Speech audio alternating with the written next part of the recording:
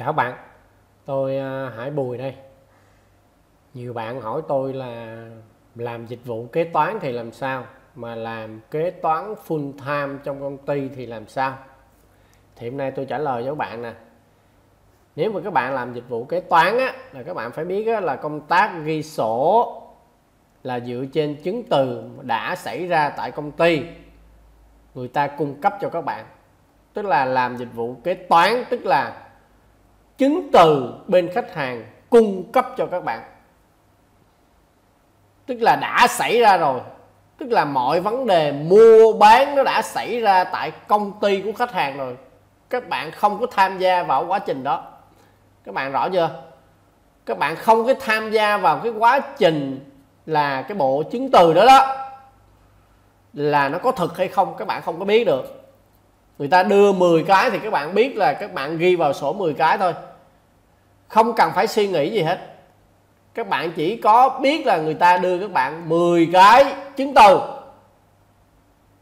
Năm hóa đơn đầu vào và năm hóa đơn đầu ra thì các bạn ghi vào sổ sách 10 cái.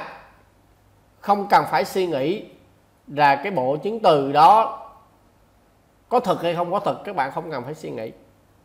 Vì cái trách nhiệm đó là cái trách nhiệm mà bộ chứng từ có thật đó đó là trách nhiệm của doanh nghiệp còn trách nhiệm của các bạn làm sao?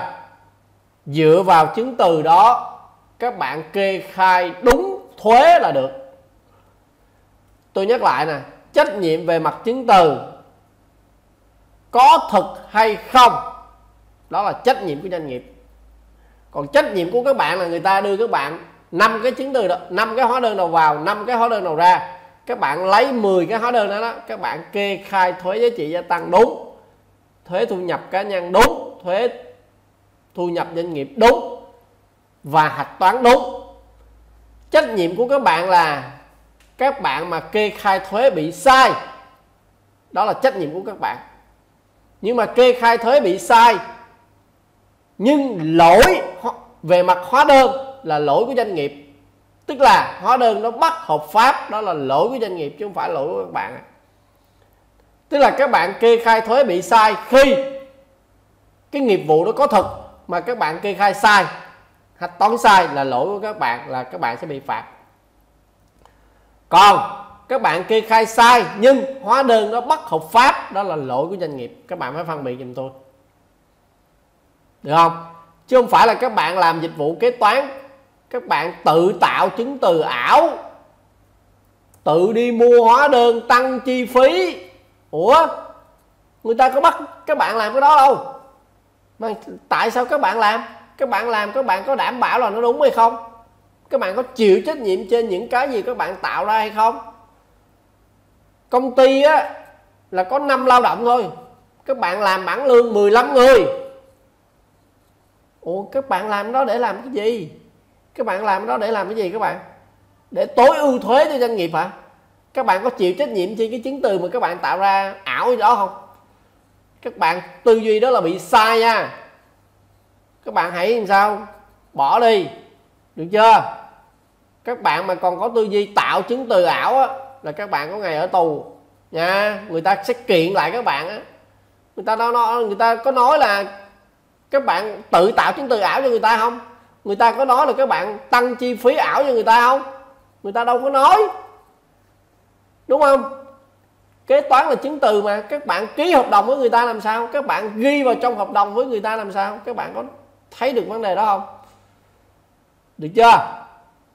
Đó là về dịch vụ kế toán. Còn nếu mà các bạn làm full time tại một công ty, làm kế toán 8 tiếng tại một công ty, sản xuất dịch vụ thương mại, thì nhiệm vụ của các bạn là cái gì? Là kiểm soát nghiệp vụ phát sinh trong công ty. Kiểm soát bằng cách nào? Tức là các bạn xem cái nghiệp vụ đó đó, nó có thực hiện đúng quy định của công ty ban hành hay không?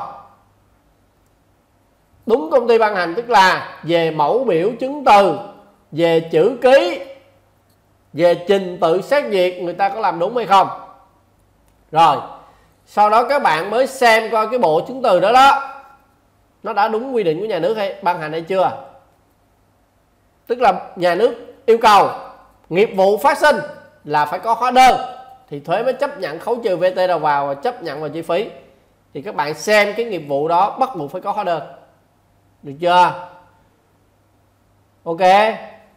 Nghiệp vụ trả lương cho người lao động là phải tuân thủ quy định của luật lao động là phải có hợp đồng lao động. Đó vậy đó.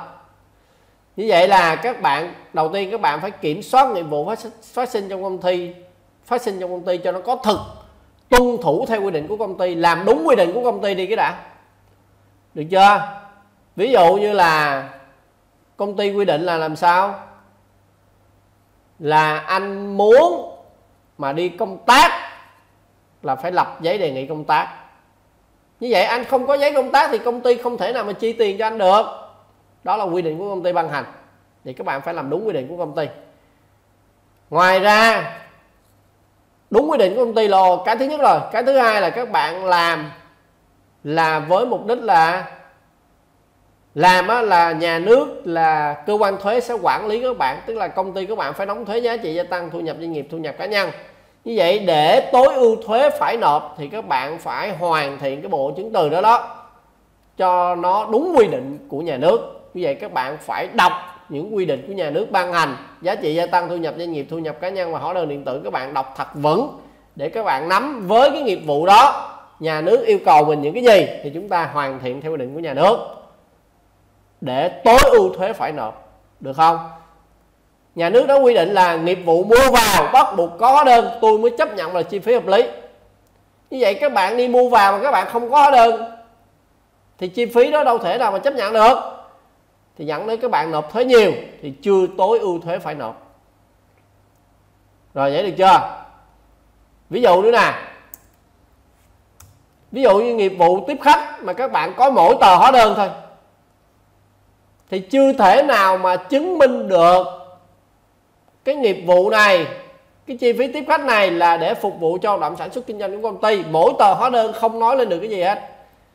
Do đó, để chứng minh được chi phí tiếp khách này phục vụ cho hoạt động sản xuất kinh doanh của công ty, thì các bạn cần phải bổ sung quy chế tiếp khách trong quy chế tiếp khách này nói là trước khi tiếp khách, anh phải làm tờ trình tiếp khách.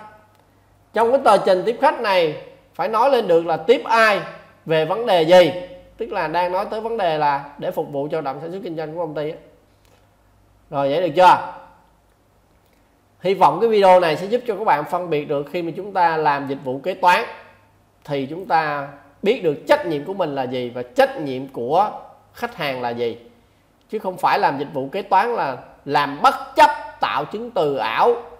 Mua bán hóa đơn. Làm bất chấp là không có đúng đâu nha.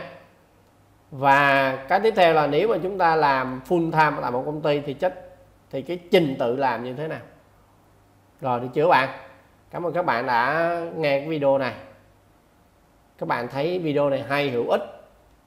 Hãy khích lệ tôi bằng cách là hãy comment nhận được giá trị gì từ cái video này share về tường facebook cá nhân cho nhiều bạn cùng xem. Được chưa? Ủng hộ tôi để tôi đạt được cái nút bạc bằng cách là các bạn lên kênh youtube nè. Bấm từ khóa là tự học kế toán. Bấm vào đây. Bấm vào tấn hải bùi. Tiền nếu rồi xem mỗi video đi nè các bạn. Khi các bạn xem video á thì dưới mỗi video này nó có từ đăng ký kênh. Các bạn bấm vào nút đăng ký kênh, nhớ bấm vào cái chuông để mỗi lần tôi ra video, các bạn là người đầu tiên sẽ nhận được cái video này. Nhớ bấm nút cảm ơn này để tôi có kinh phí. Tôi làm nhiều video free tặng cho các bạn. Rồi, hẹn các bạn trong những video tiếp theo nha. Chào tạm biệt.